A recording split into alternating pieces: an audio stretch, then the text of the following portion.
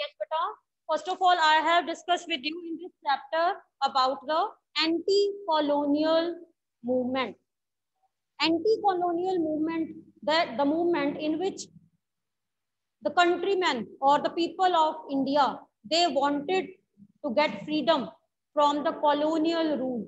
So that was a feeling of anti colonial this feeling led to nationalism or you can say struggle freedom struggle in the minds of the indian or you can say our country and uh, after that i have discussed with you how first world war led to increase or you can say emerge the feeling of nationalism कि first world war के कारण India में लोगों के mind में nationalism की feeling कैसे है तो ये मैंने बताया था कि first world war created new economic and political situation in the country taxes custom duties were imposed on people.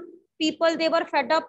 They were not getting proper facilities because the government was of colonial or britishers. Villagers and farmers were forcibly recruited for uh, you can say uh, army to join army because they have to join first world war okay?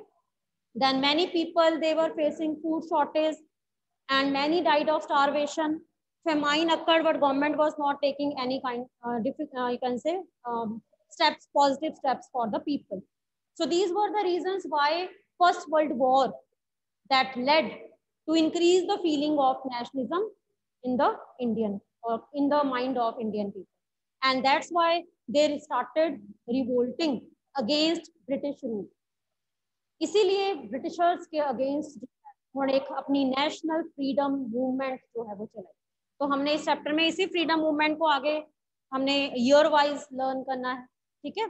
और ये हमारा जो chapter है वो start होता है with the coming of Mahatma Gandhi from South Africa ठीक है? महात्मा गांधी साउथ अफ्रीका गए थे, ठीक है? वहाँ पे जॉब की, ठीक है? उन्होंने प्रैक्टिस की अपनी लॉयर ही बिकेम लॉयर ठीक है? Then when he in South Africa that people, they faced racial discrimination. They launched satyagraha there also. And when he came back in India, then he was also uh, shocked to see the condition of Indian people. और 1915 के बाद उनके आने के बाद ही हमारी country में national freedom struggle जो है उसको एक स्पीड मिली और ये मूवमेंट जो है बहुत आगे तक फ्रीडम स्ट्रगल की जो मूवमेंट है बहुत आगे तक हुई और इसमें अलग अलग इंसिडेंट्स हमने पढ़ने हैं कि 1915 के बाद हमारा जो टॉपिक कवर करता है 1915 से इंडिपेंडेंस का टाइम पीरियड ठीक है? फिर Mahatma Gandhi when he came in India he launch satyagraha satyagraha movement satyagraha Hindi का शब्द है सत्याग्रह मतलब सत्य मीन्स सच, आग्रह मीन्स किसी को सच के लिए प्रेरित करना। और कैसे कर सकते हैं? सपोज़ महात्मा गांधी जी की पॉलिसी क्या थी कि अगर आपको कोई एक्सप्लॉइट कर रहा है violence with the help of non violence you can win the heart of the operation लेकिन violent method he was against violence वो वायलेंस के against and when he came in India he you can say move to different different parts of the country पूरी country में अलग अलग parts में वो गए और अलग अलग एरिया में उन्होंने ईयर वाइज जो है कुछ सत्याग्रह लॉन्च किए ठीक है? तो ये मैंने आपको, आपके साथ डिस्कस किया था। Champaran Kheda and Ahmedabad in 1916 he started champaran ठीक है सत्याग्रह इन Champaran then in 1917 he started kheda kheda satyagraha then in 1918 he started cotton mill worker satyagraha in ahmedabad so with this we can say that feeling of nationalism emerged in the minds of the people उसके बाद फिर next 1919 rowlatt act was implemented in our country.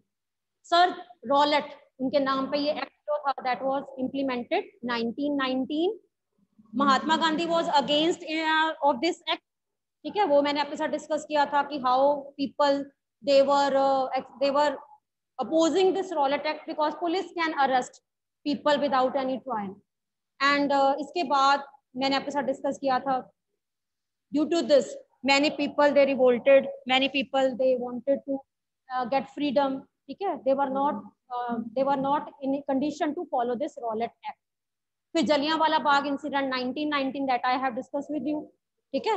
And all these conditions all these factors led to next movement that was non cooperation movement अगर मैं आपसे ये पूछती हूँ कि which were the reasons of non cooperation movement which were the events that led to non cooperation movement तो आपने non cooperation movement से पहले का सारा जो प्रॉब्लम थी वो बता देनी, क्योंकि तो आपने सारा डिस्कस कर लिया हुआ ठीक है? नंबर वन आपने बताना है that first world war first world war was the main reason जो आगे जाकर नॉन कॉपरेशन मूवमेंट का एक बेस बना। फिर आपने बताना है second Mahatma Gandhi he launch many satyagraha ठीक है? एंड सत्याग्रहीज वर अरेस्टेड उनको अरेस्ट किया गया तो this was the base of the movement third फिर आपने बताना है Rowlatt act Rowlatt act was the base of next movement क्योंकि रॉलेट एक्ट जो था that was not you can say followed by the people लोग उसको नहीं फॉलो कर पा रहे थे देन इसके बाद Jallianwala Bagh incident was the main reason of non cooperation movement because many innocent people they were killed by General Dyer. So that was the main, you can say, reason for non-cooperation movement. And last आप बता सकते हो कि Mahatma Gandhi wanted full participation from all the different sections and religious groups. So that's why he started non-cooperation and खिलाफत movement. अब खिलाफत word यहाँ पे खिलाफत मैंने आपके साथ डिस्कस किया था बच्चे Khilafat that was a movement launch by Muslims all over Muslims in the world and India में इसको किसने स्टार्ट किया था मोहम्मद अली एंड शौकत अली जिनको अली ब्रदर्स कहा जाता है So Mahatma Gandhi, he wanted to unite Hindu and Muslims together. So that's why he started a proposal for joining the cooperation, joining the cooperation of Muslims in the form of non-cooperation movement. इसलिए इसको non cooperation movement and Khilafat movement कहा जाता है। This was started in 1921 ठीक है? ये भी मैंने आपके साथ डिस्कस किया था कि नॉन कॉपरेशन मूवमेंट जो थी फिर आपने बताना है कि नॉन कॉपरेशन मूवमेंट जो थी अलग अलग पार्ट्स में कैसे स्प्रेड तो उसको हमने टू पार्ट्स में डिवाइड किया in the cities and in the village areas cities में आपको बताना है कि सिटीज़ में लोगों ने कैसे बढ़ चढ़ के पार्टिसिपेट किया? Students they boycotted teachers they boycotted liquor shops were attack people they swadeshi they adopted swadeshi and they burn foreign cloth in a bonfire and they wanted to give a loss to Britishers. वो Britishers को एक loss देना चाहते थे ताकि Britishers जो हैं, उनको कॉपरेट वो ना करें और वो चले जाए। ठीक है? इसके बाद विलेज एरियाज़ विलेज एरियाज़ में हमने बताना है countryside countryside basically इसको बोलते हैं विलेज सपोज़ मैं आपसे ये पूछती हूँ कि how what do know about the rebellion what do know about the non cooperation movement in countryside village areas तो ये बेटा मैंने आपको, आपके साथ डिस्कस किया था, ठीक है? दैट आपने थ्री प्लेसेस के नेम याद रखने हैं, अवध अवध के पीजेंट्स किस तरह से? अवध के जो पीजेंट्स थे, उन्होंने किस तरह से जो है, वो नॉन कॉपरेशन मूवमेंट का जो मीनिंग था, वो अपनी तरह से लिया था? देन आंध्र प्रदेश गुडैम हिल्स आंध्र प्रदेश में कैसे गुडैम हिल्स अलूरी सीताराम राजू जो थे, उन्होंने फॉरेस्ट एक्ट जो थे, उनको अपोज किया। देन असम प्लांटेशन वर्कर्स कैसे प्लांटेशन वर्कर्स जो थे, उन्होंने एक एमिग्रेशन एक्ट था 1859 उसको कैसे अपोज किया? ठीक है? And during these particular time period many people they participated in non cooperation movement यहाँ तक नॉन कॉपरेशन मूवमेंट जो थी, वो बहुत कह रहे हैं कि स्प्रेड हो रही थी, लोग बढ़ चढ़ के पार्टिसिपेट कर रहे थे। But slowly and gradually this movement slow down फिर आपने बताना है कि क्या रीजन था? ये मूवमेंट धीरे धीरे स्लो डाउन क्यों हो गई? और महात्मा गांधी जी ने इस मूवमेंट को वापस क्यों लिया? Why he called off why he withdraw withdraw का मतलब होता है वापस। मूवमेंट को बंद कर दो विच वर द रीजन ठीक है? तो अब ये डिस्कस हम करेंगे आपके साथ दैट नॉन कॉपरेशन मूवमेंट ठीक है in the initial year many people they participated a lot in the city areas in the village areas what people were fed up by participating in the movements. लोग अब fed up हो चुके थे movements में participate करके। Second the teachers and students those teachers who have resigned from the British institutions there were no alternate Indian institutions जिनको replace कर सके। इवन स्टूडेंट्स जिन्होंने ब्रिटिश स्कूल छोड़ दिए थे या कॉलेज स्टूडेंट्स उनके लिए कोई इंडियन एजुकेशन इंस्टीट्यूशंस नहीं थे जहाँ पर वो फिर से जाकर इसको ज्वाइन कर पाते। लॉयर्स जिन्होंने कोर्ट या हम कहते हैं कि काउंसिल में जाना बंद कर दिया था they again started their profession क्योंकि अब कितनी देर वो प्रोफेशन कितनी देर ऑक्यूपेशन छोड़ सकते हैं। Ultimately they also needed money अपनी सरवाइव करने के लिए उनको भी मनी चाहिए। ठीक है? एंड स्वदेशी आइटम की अगर बात करें तो स्वदेशी जो थी उसमें से खादी के ऊपर बहुत ज़्यादा जो है उस टाइम स्ट्रेस किया गया। महात्मा गांधी जी ने खुद चरखा जो है जो उनका मेन सिंबल माना जाता है ठीक है? उन्होंने इसको बहुत ज़्यादा जैसे कहते हैं कि पॉपुलराइज किया एंड uh, उन्होंने लोगों को इंसिस्ट किया कि आपको फॉरन क्लोथ छोड़कर खादी पहनना चाहिए।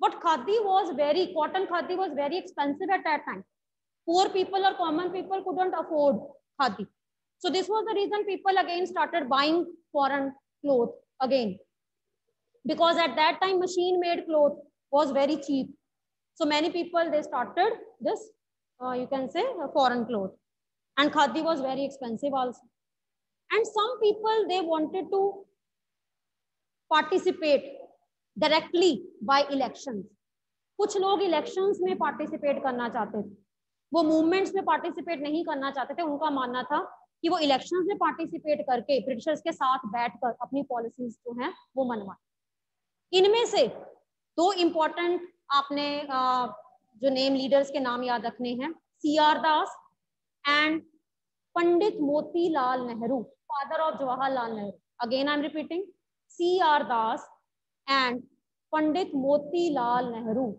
उन्होंने क्या किया? अपने आप को इस मूवमेंट से अलग किया और एक अलग पार्टी बनाई। उस पार्टी का नाम क्या था? Swaraj party.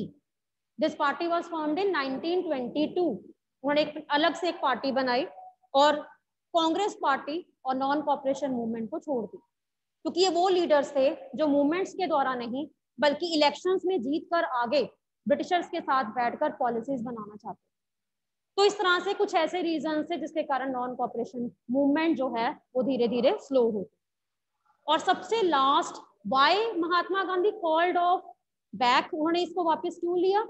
जो इंसिडेंट था दैट वाज चोरी चोरा इंसिडेंट ठीक है, ये आपने याद रखना है, चोरी चोरा इंसिडेंट 1922 क्यों कहते हैं इसको? चोरी चोरा इंसिडेंट क्या था ये? चोरी चोरा का जो था that was the name of the place ये एक विलेज का नाम था। और किस डिस्ट्रिक्ट में था ये? गोरखपुर। और कौन सी स्टेट उत्तर प्रदेश। ठीक है? and in Chauri Chaura some people they were participated in non-cooperation movement they burnt police station and 22 british policemen they they were you can say they were uh, died due to this fire incident and the movement turn violent तो police यानी कि police officers जो है जब police station को जला दिया गया ठीक है तो ब्रिटिश गवर्नमेंट जो थी they started arresting leaders and slowly and gradually this movement turn violent और इसीलिए Mahatma Gandhi he was very angry he became very angry और उन्होंने फिर इस मूवमेंट को बंद कर दिया। कॉल ऑफ़ का मतलब भी सेम होता है विड्रॉ का मतलब क्या होता है, वापस लेना ठीक है? और ये मेन रीजन बना, चोरी चोरा इंसिडेंट आपको ये अगर वन मार्क क्वेश्चन आता है but which was what was the main reason to withdraw the non cooperation movement तो आप बताओगे, Chauri Chaura incident of 1922 in which Indian the people who participated in non cooperation movement they burn police station and 22 policemen they were burned they were killed and that's why uh, uh, at that time police or uh, britishers they attacked many people and the movement turned violent and mahatma gandhi they became very angry and he started to call off this non cooperation movement ठीक है तो ये था सारा non cooperation movement इसके बाद बच्चे year wise हम लर्न कर रहे हैं मैंने आपको बताया कि 1922 के बाद कुछ टाइम के लिए महात्मा गांधी जी ने मूवमेंट्स को बंद कर दिया। क्योंकि वो नहीं चाहते थे कि जो मूवमेंट है वो violent and in between Britishers they wanted to revise rules and regulations in the country 1922 में स्वराज पार्टी बनी कुछ लीडर्स अलग हो गए। वो इलेक्शंस के द्वारा जो है मूवमेंट्स में नहीं बल्कि इलेक्शंस के द्वारा आना चाहते थे। एंड uh, इसके बाद ब्रिटिशर्स जो थे वो इंडिया की कंडीशन को इम्प्रूव करने के लिए they wanted to revise some rules and regulations in the country so that's why next event we will discuss that is Simon commission क्या था ये साइमन कमीशन और ईयर आपने याद रखना है 1928 why this is named as Simon because the head chairman of this commission उनका नाम क्या था? Sir John Simon he was the chairman or head of this commission. In this commission, seven members were there. What all the members were foreigners. No indian was in this commission. और जितने भी ये members थे they went from they came from London वो London से आए. And you know in our country the commission was not welcomed at all इसको बिल्कुल भी जो है वो प्रॉपर वेलकम नहीं मिला. और जैसे ही साइमन लोगों को पता लगा कि साइमन कमीशन यानी कि मेंबर जो हैं दे आर अराइविंग तो लोग जो थे, उन्होंने ब्लैक फ्लैग्स लेकर। और उनके ऊपर उनके पोस्टर्स पे क्या लिखा, जो उनके पास फ्लैश कार्ड थे Simon go back Simon go back means कि वो नहीं चाहते थे कि कमीशन के मेंबर्स जो हैं, वो उनके लिए रूल्स एंड रेगुलेशंस बनाए। क्या रीजन था? इंडियन जो थे, या लीडर्स या नॉन कॉपरेशन मूवमेंट या महात्मा गांधी जी या कांग्रेस पार्टी, उनका ये मानना था कि अगर इंडिया के लिए रूल्स एंड रेगुलेशंस बनाने हैं then some of the Indian member should be included in this commission all were foreigners so they wanted that this commission should consist of indian members also what in this commission all the members were foreigners so that's why indian yani ki jo log the yahan pe lala lajpat rai he also participated to oppose this simon commission और उनके ऊपर लाठीचार्ज हुआ था आपको याद होगा और इसी लाठीचार्ज के कारण ठीक है बाद में उनकी डेथ हुई ठीक है क्योंकि उनके जिसे कहते हैं कि लाठीचार्ज के बाद उनकी बॉडी जो थी that was really you can you can say recover होने में बहुत टाइम लगा and after that he died due to this attack of lathi charge आज so many people they oppose the Simon commission और Simon commission जो था, वो बिना किसी रूल्स एंड रेगुलेशन को बनाए वापस चले तो that was also the you can say victory of Indians कि साइमन कमीशन जो था, वो इंडिया में आ नहीं पाए, ना ही वो रूल्स एंड रेगुलेशन बना पाए and they went back to London तो that was also important event of our Indian history Simon commission 1928 ठीक है? अब इसके बाद next year 1929 this year is also very important ठीक है?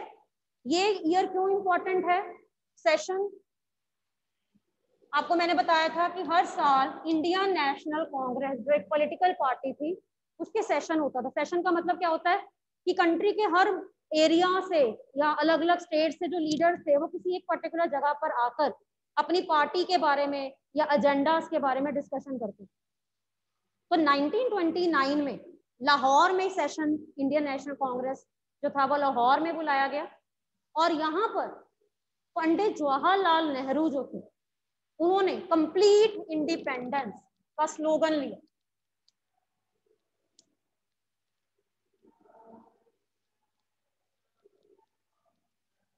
या पूरन स्वराज, वो भी आप कह सकते हो, ठीक है? और इम्पोर्टेंट डेट वो आपने याद रखनी है 26 जनवरी। 26 जनवरी को उन्होंने रावी रिवर के पास प्लेज लिया and many people they assembled and they to pledge to get complete independence for the country उन्होंने कंप्लीट इंडिपेंडेंस जो है, उसका प्रपोजल या स्लोगन जो है वो लिया कि हम जब तक अपनी कंट्री को पूरी तरह से इंडिपेंडेंस नहीं दिला देंगे, ठीक है? हम बिल्कुल भी जो है वो पीछे नहीं होंगे। उनका ये मानना था। तो इसीलिए इंडियन हिस्ट्री में लाहौर सेशन जो है वो बहुत इंपॉर्टेंट माना जाता है। और यही रीजन है कि हमारी कंट्री का जो कॉन्स्टिट्यूशन है, वो 26 नवंबर को बना था। What it was implemented on 26 January जिस डे को हम रिपब्लिक डे सेलिब्रेट करते हैं। तो ये भी आपको पता होना चाहिए कि why the important of 26 January is in our history because in this on this date Pandit Jawaharlal Nehru he took proposal for complete independence or पूर्ण स्वराज लाहौर सेशन 1929 ठीक है? अब कंप्लीट इंडिपेंडेंस रीजन क्या? कंप्लीट इंडिपेंडेंस पूर्ण स्वराज क्यों कहा जाता है पूर्ण स्वराज क्योंकि इसके लिए आपने ये बताना है कि सेम ईयर यानी कि 1929 में जब साइमन कमीशन वापस चला गया तो उसके बाद इंडिया में जो उस टाइम पीरियड में वायसराय कौन थे वायसराय इरविन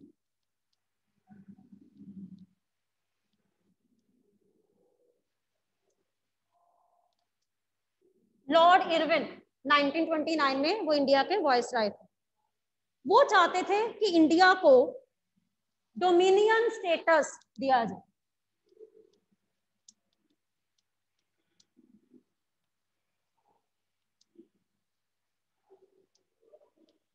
डोमिनियन स्टेटस का मतलब होता है पार्शियल इंडिपेंडेंस पार्शियल का मतलब क्या है?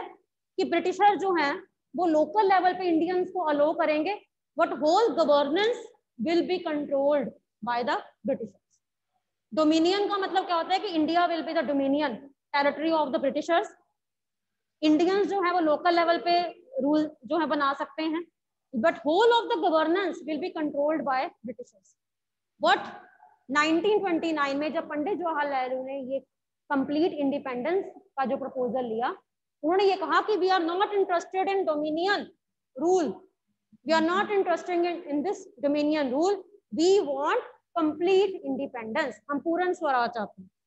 इसीलिए इस सेशन जो है, उसकी बहुत इंपॉर्टेंस मानी जाती है, जिसे कहा जाता है Lahore session of Indian National Congress ठीक है?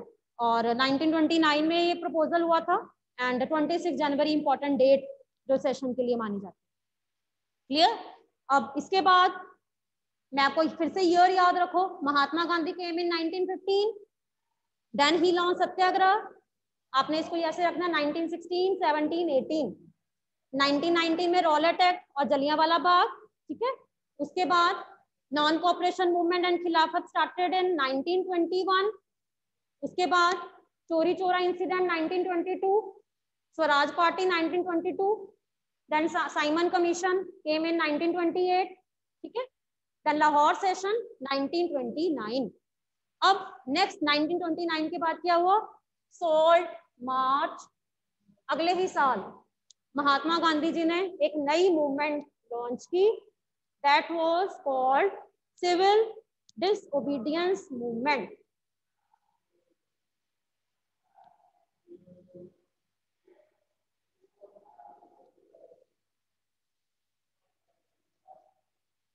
Now, we will continue with the next topic, that is salt march और सिविल डिसोबीडियंस मूवमेंट ये टॉपिक सबसे पहले आपने याद रखना है सॉल्ट इसमें क्यों लिया गया है? सॉल्ट महात्मा गांधी जी के अकॉर्डिंग एक ऐसी नेसेसरी आइटम जो सबके लिए ज़रूरी है, चाहे वो रिच हैं, चाहे poor what you know at that time people they have to give tax on salt यानी कि सॉल्ट के ऊपर भी टैक्स देना पड़ता था। एंड दूसरा ब्रिटिशर्स जो थे, उनकी प्रॉपर मोनोपोली थी सॉल्ट के ऊपर। मोनोपोली का मतलब क्या होता है? कि सॉल्ट को मैन्युफैक्चर करना, उसको बेचना that was under the control of Britishers no Indian can manufacture his own salt वो अपना सॉल्ट बना नहीं सकते थे। Means manufacturing of salt was controlled by Britishers so that why that's why at that time salt was very costly क्योंकि उसके ऊपर tax देना पड़ता था। तो महात्मा गांधी जी ने इसी सॉल्ट को अपना नेक्स्ट मूवमेंट के लिए एक वेपन बनाया, ताकि उसमें सभी लोग पार्टिसिपेट करें rich as well as poor people then next is civil disobedience इससे पहले जो मूवमेंट लॉन्च की थी that was non cooperation not to cooperate उसका मतलब क्या था कि वो कोऑपरेट नहीं करेंगे। लेकिन इसमें क्या है? डिसओबीडियंस का मतलब होता है, जो ब्रिटिशर्स ने रूल्स बनाए हैं, उनको डिसओबे करना। To disobey British rules rules को ना माना but with the help of non violence non violence अब हम ये पढ़ेंगे कि write a note on salt march और सिविल डिसोबीडियंस मूवमेंट अगर आप जो है, उसमें पॉइंट्स आपके कौन कौन से होंगे? तो आपने सब, सबसे पहले आपने सॉल्ट मार्च जो है, उसके बारे में बताना है कि कैसे महात्मा गांधी जी ने सॉल्ट को एक इंपॉर्टेंट वेपन बनाया और उसके बाद किस तरह से सिविल डिसोबीडियंस मूवमेंट का जो प्लान है, या किस तरह से इसको प्रॉपर आगे जो है, वो आगे मूवमेंट को स्टार्ट किया। ठीक है? तो सबसे पहले आपने जो है पॉइंट बताओगे। सॉल्ट मार्च स्टार्ट हुआ था 1930 ठीक है? और इसके लिए इंपॉर्टेंट डेट जो है वो याद रखनी है आपने। थर्टी फ़र्स्ट जनवरी 1930 ठीक है? लाहौर सेशन हुआ था 1929 दिसंबर में। दिसंबर में सेशन खत्म हो गया। इमीडिएटली जनवरी में thirty first January 1930 Mahatma Gandhi ji he wrote a letter उन्होंने एक लेटर लिखी टू वॉयसराय इरविन जो उस टाइम पीरियड में वॉयसराय थे। उनका नाम क्या था? Viceroy Lord Irwin he wrote a letter उन्होंने एक लेटर लिखी और उस लेटर में उन्होंने अपनी इलेवन डिमांड्स लिखी।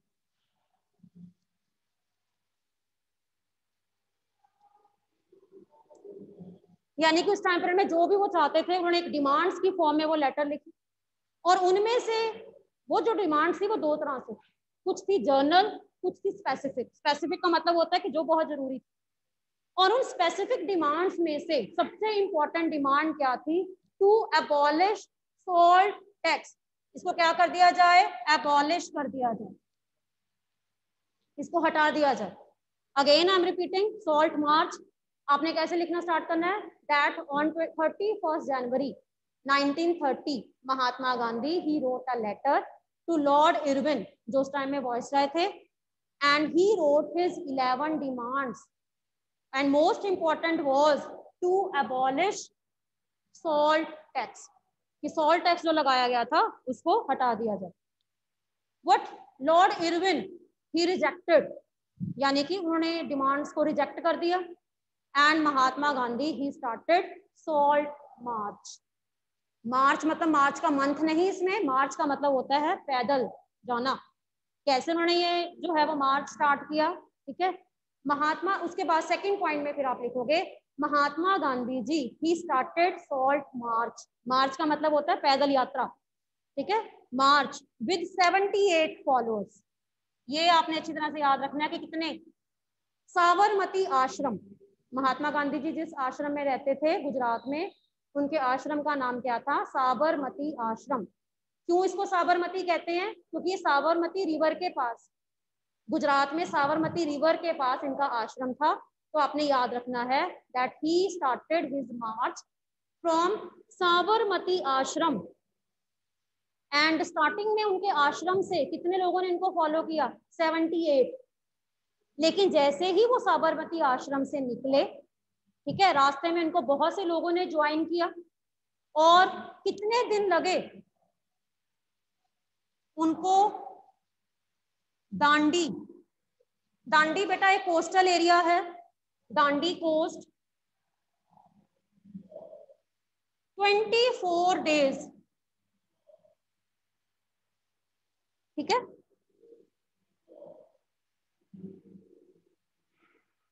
साबरमती आश्रम से उन्होंने स्टार्ट किया 78 फॉलोअर्स ने इनको ज्वाइन किया। उन्होंने मेन जाना कहाँ पे था? Dandi coast coastal area and कितने दिन लगे उनको? 24 डेज़ ठीक है? और टोटल एरिया उन्होंने कितना कवर किया? हर हर रोज वो 10 माइल्स कवर करते थे। तो टोटल एरिया जो उन्होंने कवर किया 240 माइल्स ऐसे याद रखो इसको। अब आपने जो पॉइंट बनाना है, आपने याद रखोगे that Mahatma Gandhi he started with 78 followers from Sabarmati Ashram to Dandi coast and it took 24 days 24 days लगे उनको। एंड टोटल एरिया उन्होंने कितना कवर किया? 24 डेज़ पैदल चलते रहे वो। कितना एरिया कवर किया? 240 माइल्स इट इट मीन हर रोज वो कितना ट्रेवल करते थे? 10 माइल्स ठीक है? एंड रास्ते में उनको बहुत से लोग ज्वाइन भी करते थे। एंड अल्टीमेटली कौन सी डेट यानी कि किस डेट को वो दांडी पहुँचे? वो डेट आपने इंपॉर्टेंट याद रखनी है। सिक्स अप्रैल सिक्स अप्रैल, आपने इंपॉर्टेंट डेट याद रखनी है कि on six April he reach Dandi coast ठीक है? एंड यहाँ पे पहुँच के उन्होंने क्या किया? ही मैन्युफैक्चर्ड सॉल्ट उन्होंने खुद सॉल्ट बनाया। सॉल्ट कैसे बनाते हैं?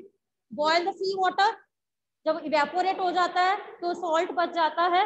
And with this he disobey salt law उन्होंने रूल जो था, वो ब्रेक किया, ठीक है?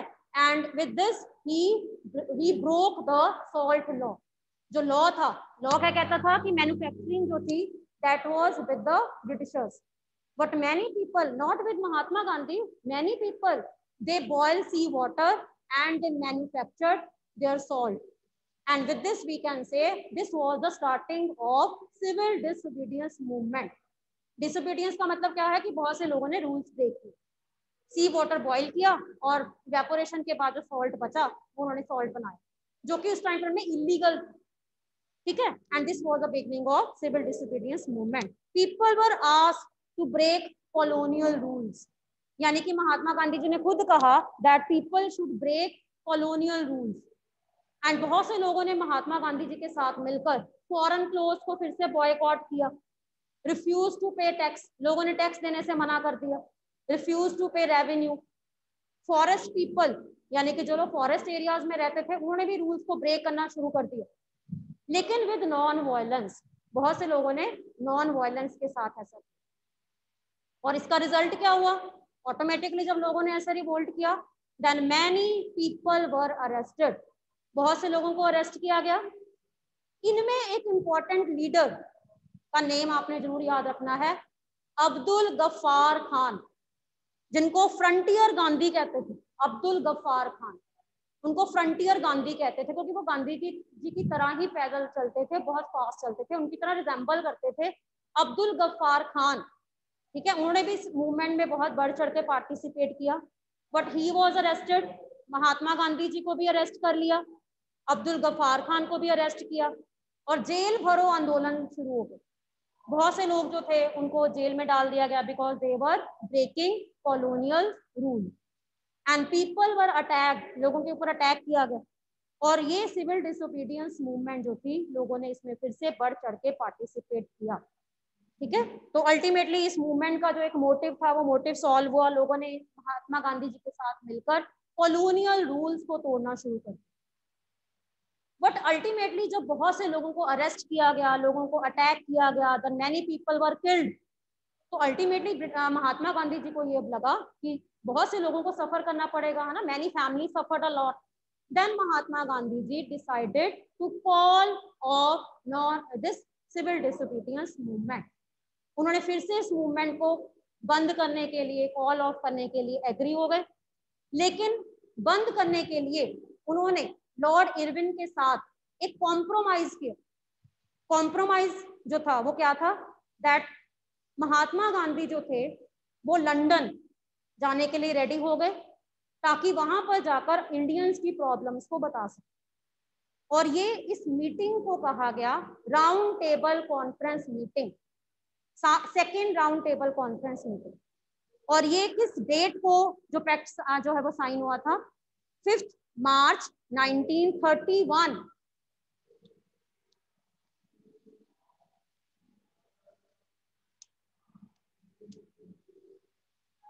ये इंपॉर्टेंट डेट आपने याद रखनी है।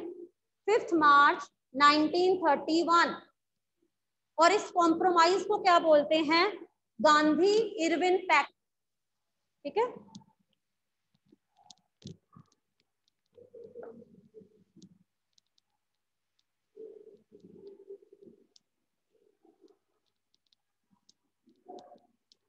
Yes. Gandhi event pact was signed in which year? On 5th march 1931 आप ये देखो कि सिक्स अप्रैल में 1930 पे मूवमेंट स्टार्ट हुई और अल्टीमेटली पूरा ईयर ये मूवमेंट कंटिन्यू रही। महात्मा गांधी जी जेल में रहे, लेकिन उनके साथ बहुत से फॉलोअर्स थे, ठीक है? उनको भी जेल में रखा गया। And in the mean time Mahatma Gandhi ji को इन्फॉर्मेशन मिलती रही कि लोगों को टॉर्चर किया जा रहा है एक्सप्लॉइट किया जा रहा है।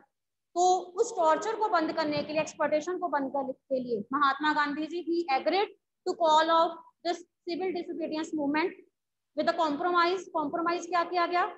फिफ्थ मार्च 1931 को महात्मा गांधी जी ने लॉर्ड इरविन के साथ एक पैक्ट साइन किया। पैक्ट का मतलब होता है एक पॉलिसी साइन किया। और इसके अकॉर्डिंग महात्मा गांधी जी ने अपनी डिमांड की to release all the political prisoners कि जितने भी पॉलिटिकल प्रिजनर्स हैं, जिनको सिविल डिसोबीडियंस मूवमेंट के लिए अरेस्ट किया गया था, उनको रिलीज़ कर दिया जाए, उनको छोड़ दिया गया। एंड इसके साथ ही महात्मा गांधी जी लंदन जाने के लिए रेडी हो गए। किस मीटिंग के लिए? Round table conference second round table conference जो लंदन में होनी थी। वहाँ पे जाने के लिए वो रेडी हो ठीक है? और उसके बाद ही सिविल डिसोबीडियंस मूवमेंट को बंद कर दिया ठीक है? लेकिन जब महात्मा गांधी जी लंदन गए 1931 में जब वो लंदन गए, ठीक है? लेकिन वहाँ पर उनके प्रपोजल्स जो थे, जो भी उन्होंने प्रपोजल्स रखे, उन प्रपोजल्स को नहीं माना। और वो डिसअपॉइंट हुए, वापस आ गए। वापस आकर उन्होंने नॉन सिविल डिसोबीडियंस मूवमेंट को फिर से 1932 में स्टार्ट किया।